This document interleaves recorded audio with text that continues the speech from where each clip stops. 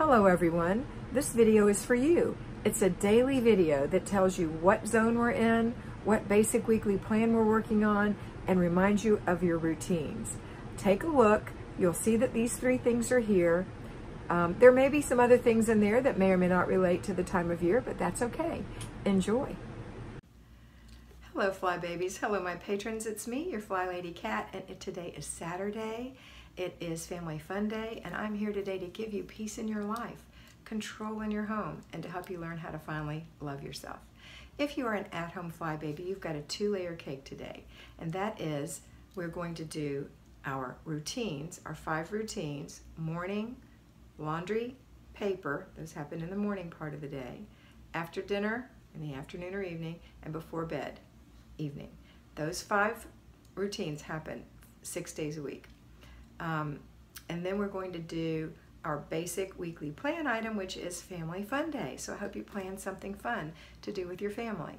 Either you can go out and do something if that's in your budget, or you can stay in, or you can do something locally. Let's say you're going on a leaf a leafing expedition to collect beautiful leaves with your children, or perhaps you're going to build tents in the living room with them or in the backyard, or maybe you're going to play Monopoly with your older children today.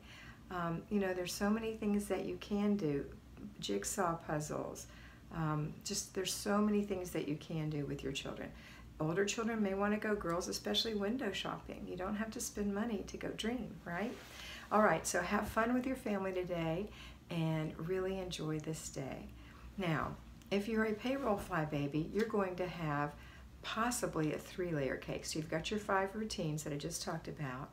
You've got your basic weekly plan, which is Family Fun Day, which we're going to move a little further down in the day for you. And in the morning, we're going to get rid of our zone and any other basic weekly plan that you might have chosen not to do during the week.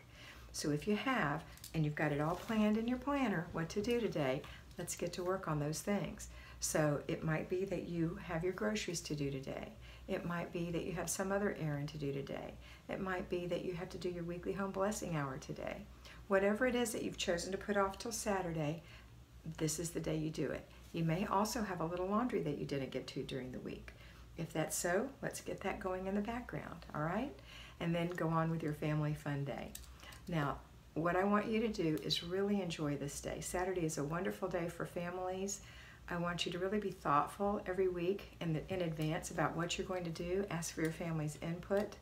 You know, there's you can just have a hopscotch and, and jump rope day. There's just so many things you can do. A bike riding day. Um, maybe walking the dog together for a long, extra long walk today. Whatever it is, it's family fun. All right, that's it for today. Don't forget you have your before bed routines tonight and you're going to plan for Sunday. Sunday is Renew Your Spirit Day, so make sure that you do all the things you need to do tonight so that in the morning you'll have a smooth transition.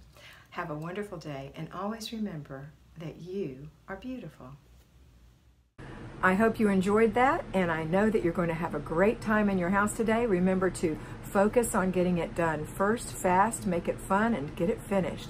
Complete the process, and don't let those little things bug you that you see that are for future dates. Use your planner, and always remember that you are beautiful.